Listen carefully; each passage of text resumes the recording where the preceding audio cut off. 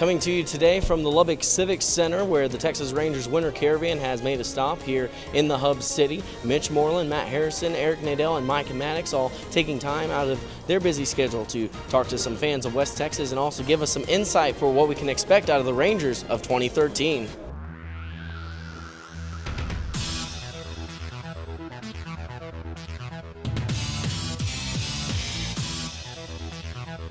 I'm really excited. You know, I think this is going to be one of the more interesting spring trainings.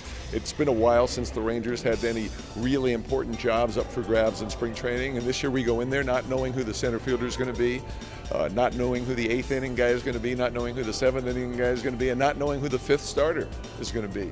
So uh, I think to see that play out, and also see how AJ Pierzynski and Lance Berkman, you know, look going into spring training, uh, it's going to be a lot of fun that's a pretty good three to start with, you know. And then I think Alexi Ogando made the All-Star team two years ago as a starter, so we're looking forward to getting him back in the swing of things. And then uh, the fifth spot, you know, we got the we got a hold. We have an opportunity there for somebody to jump up and grab hold of it, and that's what we want. Is we want somebody to go out there and earn it. We don't want to give it to someone by default because we need a fifth starter.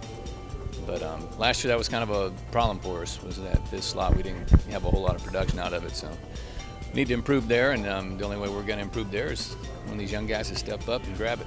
Man, I don't think we're going to lose our chemistry. Uh, you know, it's definitely going to be different without having Michael Young there and his leadership uh, because he was the guy that you know, everybody went to when we had an issue or a question. Uh, you know, he's the guy that been there the longest, and you know, he he was our leader in the clubhouse. So uh, that's going to be tough to fill those shoes. But uh, you know, I don't, you know, hoping that somebody don't try to.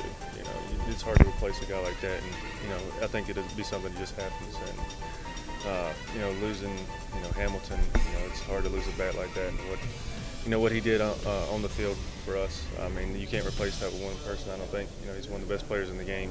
Uh, but we try to pick up the pieces where we can, and uh, each person do the best they can that day, and uh, you know, hopefully we come out on top. Just because we ended like we did didn't mean we had a bad season. You know, we, we still had a great season, but I think everybody was just disappointed because of what we were used to, you know, going to the World Series two years in a row. And, uh, you know, we just got to get back to that mindset where, you know, we're going to go out and, and, and, play our style of baseball and, and not let any, anything else get in the way. And, uh, you know, we're, we're very capable of doing that. We got a great team, and, and uh, you know, it'll. I think I think we'll get back to that this year and, and play our style our style baseball. Spring training is just right around the corner for the Texas Rangers, and then on March 31st, they open the regular season against new American League Western Division rival, the Houston Astros, in Houston. Reporting for MCTV from the Lubbock Civic Center, I'm Joshua Cook.